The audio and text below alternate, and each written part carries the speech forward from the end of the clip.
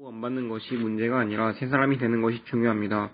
What does matter is being a new person. When Christ Jesus died on the cross, we died to sin. 그리스도 예수님이 십자가에서 우리 죄 위에 죽으셨을 때 우리도 그 죄와 함께 죽었습니다.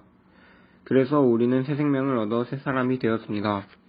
We are a new cre- creation. Thank you, Jesus, for dying for us. Thank you, Jesus. I'm a new creation.